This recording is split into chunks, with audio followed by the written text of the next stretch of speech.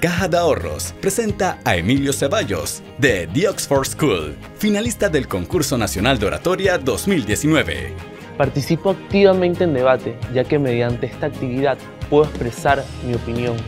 lo que ha llevado a que me pueda convertir en activista de diferentes causas, como el medio ambiente,